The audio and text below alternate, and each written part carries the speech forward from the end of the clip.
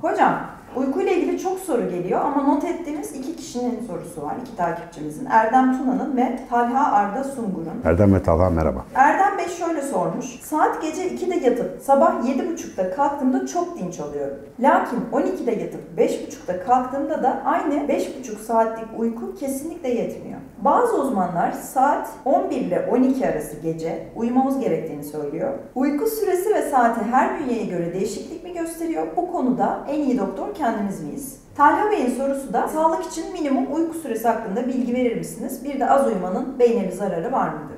Hazır konusu açılmışken önce jenerik kısmı söyleyeyim. Herkese ilgilendiren konu. Uyku beden için değil, beyin için uyunur. Beynin gelişmesi, sağlıklı fonksiyon görmesi, kendini onarabilmesi, çöplerini temizleyebilmesi için uykuya kesinlikle gereksinim vardır. Çünkü uzanırsak vücudumuz dinlenir ama uyumazsak beynimiz asla dinlenmez. Uzun süre uykusuz kalan insanların duyma yeteneklerini, görme yeteneklerini, dokunduklarını hissetme yeteneklerini kaybettiklerini biliyoruz zamanla. Ama uyuduktan sonra her şeyin normale döndüğünde gördüğümüzde diyoruz ki ha demek ki uyku her gün uyumamız halinde beynimizin çalışmasını sağlayan en önemli dinlenme zamanlarından biri. Dinlenme derken bu arada uykuda beyin kapanmıyor. Tam tersine uykunun belli dönemlerinde gündüzkinden daha aktif. Çünkü aktif bir temizlik işlemi, aktif bir dosyalama işlemi, aktif bir hafıza arşivleme işlemleri falan yapılıyor uyku sırasında. O yüzden uyku mühim. İdeal uyku süresi kişiden kişiye değişir mi? Evet çok değişir. Uyku süresi 3 temel faktöre bağlıdır. Birincisi gün içerisinde ne kadar hareket ettiğiniz, bedensel hareket. Bedensel hareket arttıkça uykunuzun kalitesi artar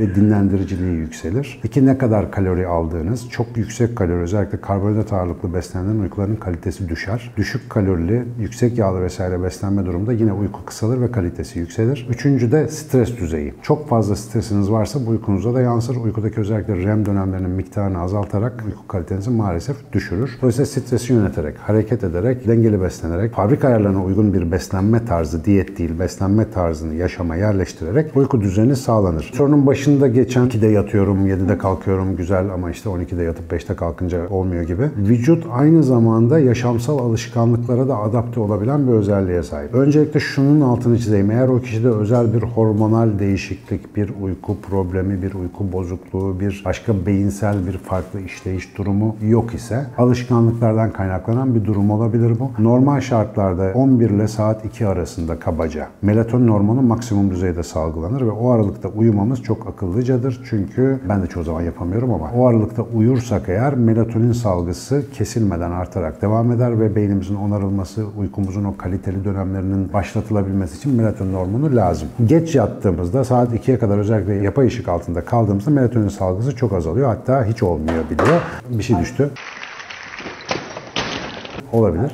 Bu da normalde fizyolojik olarak uyku kalitesini düşürüyor. Ama hayatınız boyunca bir ritme adapte olduysanız beyniniz ona da belli düzeylerde adapte olabiliyor. Yani bizim sistem böyle saatli bir sıfır bilgisayar gibi çalışan bir şey değil. Netice itibariyle uyku iyi bir şeydir. Erken yatılması da güzeldir. Eğer bizi çok dinlendirmiyorsa, bize iyi gelmiyorsa diğer ritmi zorlamanın da bir alemi yoktur. Dolayısıyla nasıl rahat ediyorsanız öyle yapın. Ama gece 2'ye kadar da biraz geç gözüküyor. Onun başka bir sebebi olabilir. Bir soru daha vardı. Uyku süresi ve saati her bünyeye göre değişir mi? Hani bu konuda en iyi Değişir. doktor kendimiz miyiz? Evet. Onu. Normal, yani patoloji yoksa bir normal durumdaki uyku döngümüzü en iyi kendimiz biliriz. Dediğim gibi yemeğimizi, hareketimizi, stresimizi gözeterek uyku süremizin neden uzun ya da kısa olduğunu görebiliriz. Uyku süresiyle oynamamanızı tavsiye ederim. Uyku süresi bir şeyin sonucudur. Dolayısıyla o sonuçları düzeltirsek uyku zaten kendiliğinden iyileşir. Mesela biz burada nörofeedback uygulamalarında ilk gördüğümüz etkilerden bir tanesi uyku süresinin değişmesidir. Özellikle dengeleyici protokolleri, başlangıç protokollerini uygularken bunlar işte iki beyin yarım küresinin dengeli bir fazla çalışmasını amaçlayan protokoller. 5. 6. seanstan sonra hemen hemen herkesin önce bir uykusu kısalıyor. Bu insanları bazen telaşlandırıyor. Ben çok erken uyanıyorum falan ama işte dinç kalkıyorum falan diye. Telaşlanacak bir şey yok. Çünkü o dengeleme operasyonu uykunun kalitesini arttırdığı için bütün uyku boyunca almamız gereken faydayı daha kısa bir sürede alabilmemizi sağlıyor. Yani uyku süresini kısaltan şey uykunun kalitesini arttırıyor demektir. E bu arada şeyle karıştırmayalım. Mesela alkol aldığınız zaman da kısa uyursunuz. Alkol tükettiğinizde yatarsınız. Sabaha karşı daha belki güneş doğmadan pat diye uyandığınızı görürsünüz ama bu aynı şey değil. Alkolde olan durumda şöyle bir şey. Vücudunuza giren alkol beyni uyuşturuyor tabii ki. işte o uyuşturucu haberci maddelerin miktarını arttırdığı için. Bu çabuk uykuya geçmeye sebep oluyor. Fakat karaciğeriniz tarafından gece uyurken alkol kandan parçalandığı ve alındığı için beyniniz alkol girdisi ortadan kalkınca buna telaşlanarak cevap veriyor. Yani ani bir uyanma reaksiyonu oluşturuyor. Genellikle çok alkol alındığında gece ya da sabaha karşı